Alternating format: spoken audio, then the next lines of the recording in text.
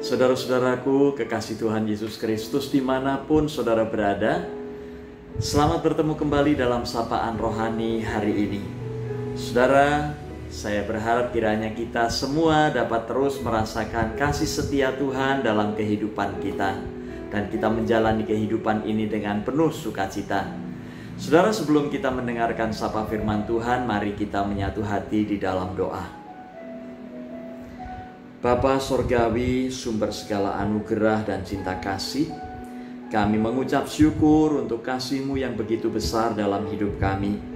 Bapa, saat ini kami mau mendengar sapa firman-Mu.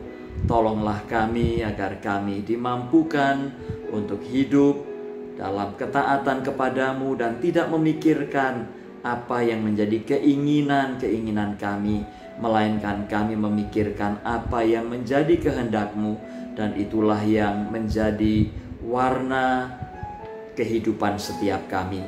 Terima kasih Bapa di dalam Tuhan Yesus Kristus kami berdoa. Amin. Saudara-saudaraku, bagian Alkitab yang menjadi dasar sapaan rohani hari ini terambil dari Injil Matius pasal 16 ayat 21 hingga ayat 28. Saya akan membacakan ayat 21 hingga ayat 24. Demikian yang tersurat di sana. Sejak waktu itu Yesus mulai menyatakan kepada murid-muridnya bahwa ia harus pergi ke Yerusalem dan menanggung banyak penderitaan dari pihak tua-tua, imam-imam kepala dan ahli-ahli Taurat, lalu dibunuh dan dibangkitkan pada hari ketiga. Tetapi Petrus menarik Yesus ke samping dan menegur dia. Katanya, Tuhan, kiranya Allah menjauhkan hal itu. Hal itu sekali-kali takkan menimpa engkau. Maka Yesus berpaling dan berkata kepada Petrus, Enyahlah iblis, engkau suatu batu sandungan bagiku, sebab engkau bukan memikirkan apa yang dipikirkan Allah, melainkan apa yang dipikirkan manusia. Lalu Yesus berkata kepada murid-muridnya, "Setiap orang yang mau mengikut Aku, ia harus menyangkal dirinya, memikul salibnya, dan mengikut Aku."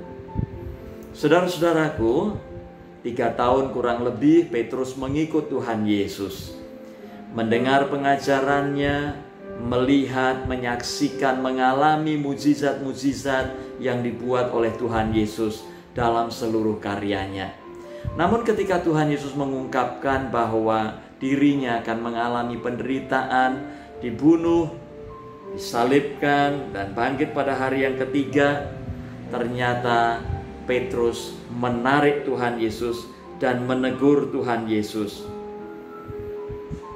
Tuhan, kiranya Allah menjauhkan hal itu.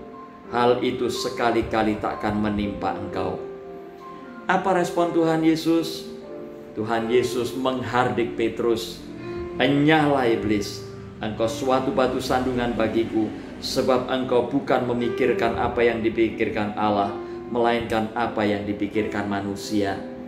Saudara-saudaraku, mungkinkah kita seperti Petrus? Di dalam menjalani kehidupan ini yang kita pikirkan hanya pikiran-pikiran manusia. Apa yang menjadi keinginan kita? Kita berorientasi pada kehendak kita, keinginan kita, tidak berorientasi pada kehendak Tuhan. Tuhan menyatakan bahwa setiap orang yang mau mengikut Dia, maka dia harus menyangkal dirinya dan memikul salib untuk mengikut Tuhan. Menyangkal diri berarti mengesampingkan kehendak pribadi, keinginan-keinginan diri yang berorientasi hanya pada diri sendiri. Mengikut Tuhan Yesus berarti menundukkan diri sepenuh-penuhnya pada apa yang menjadi kehendak Allah.